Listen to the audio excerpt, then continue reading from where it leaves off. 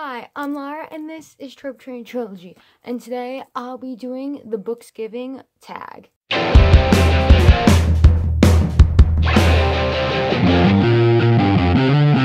I was tagged by the wonderful Anne from Book Your Imagination, who I will link down below. The original tag was by Sophie from Sophie's series, who I also link down below. So the point of this tag is you're having a big Thanksgiving dinner with all your favorite book characters or least favorite. And this tag is to help you figure out who would be doing what at this wonderful Thanksgiving meal. So let's try to do this quick because I have no time. Number one, the Wrangler and Savior. What character would be most likely to chase after a turkey, and what character would be most likely to save it? So, character most likely to chase after the turkey would be Maika Halfwolf from Monstress. Right there. And the character who would be trying to save the poor turkey would be Kippa, who is Maika's little child fox friend slash sidekick. Now, I'm not sure if Maika would be the one I would actually want to send to get the turkey. Like, she might end up eating the turkey and just coming back with a skeleton, which is gross, but she she's not the nicest person and she's got demonic issues. She would definitely be the one uh, going out at night and hunting down turkeys, and she would be the one who tries to stop her and then is traumatized when she can't. That's a happy start to this meal. Number two, the drama king slash queen. What book character would most likely start an argument at the table? That would be Helene Aquila from An Ember in the Ashes. And the reason I pick Helene is because all throughout this first book, she's creating petty drama when they have much more important things to worry about. So I can always count on Helene to start drama when it's not a good time, such as at a holiday dinner. Number three, the Space Cadet. What character would accidentally set the oven on fire? I have no idea what Space Cadet has to do with any of this situation, but my answer to that is Leo Valdez from the Heroes of Olympus. You can see him right there, he's in the front. Leo has fire powers, and he doesn't have perfect control over them. So he actually has problems within this story of accidentally burning things. So it would be very consistent and in character for him to continue accidentally burning things. Poor Leo, he can never have an easy life. Number four, which character would probably be a loner on Thanksgiving? Because let's be honest, no one wants him there. So that character would be the AI AIDAN from Illuminae. Now, AIDAN wants what's best, and he wants to do what's best for everyone.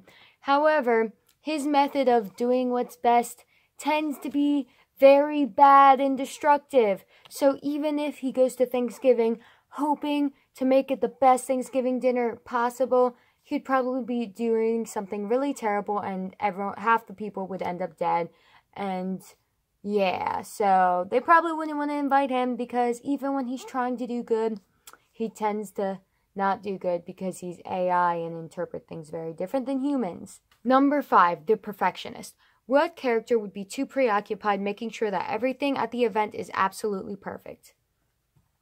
Now, that character would be Hermione Granger from Harry Potter. I picked the third one because her face is on the cover. So, Hermione's always been a perfectionist, to the point where sometimes it gets annoying. So I feel like she would continue to be the perfectionist, even though she's British and wouldn't be celebrating Thanksgiving. But none of these characters would actually be celebrating Thanksgiving, except maybe Leo, because he does live in modern day America. But yeah, so I could imagine Hermione would be panicking the whole time and being a perfectionist the entire event instead of actually enjoying the dinner. Number six, the embarrassment. Which fictional character has a little too much to drink, aka a lot to drink, of holiday spiced apple cocktail? This character is pretty obvious. Haymitch Abernathy from, oh wow, that's shiny. Haymitch Abernathy from The Hunger Games. He's an alcoholic, so it makes sense he would be the one to drink too much. Number seven, what book are you least thankful for this year? So for that, I'm picking The Forest of Hands and Teeth this book. Now, there have been a couple other books I've tried to read this year and didn't finish, but I'm not counting them because I didn't finish them. This one I actually did finish, and I did not like it. It was very boring, and I didn't care about a single character. It was slow, and I was apathetic to the entire thing. but I did finish it, so woo. Number eight, what book are you most thankful for? Now, this one did not say this year, so I'm not picking one I read this year, especially since they were both used in character examples before. So the one I'm picking for this is Warriors Into the Wild. Now, this book I am most thankful for because this is the book that got me into reading and also got me so into reading that I wanted to write my own stories too. So, it seems like a pretty obvious pick. This book is the one that started it all. And finally, number nine. Name one random thing you're thankful for. Now, I don't really think this is particularly random, but I'm thankful for my family and my friends. Most of my family. Screw my friends. No, I'm just kidding. I'm thankful for my family. So, I'm filming this very last minute. It's going up on Thanksgiving. And hopefully I'll get this up before I go to my family dinner where I get to see my family that I'm oh so thankful for. So yeah, that's all I have to say for now. I'm not tagging anyone because it's Thanksgiving. No one has time to make this. So yeah, I hope you enjoyed this and I'll see you later.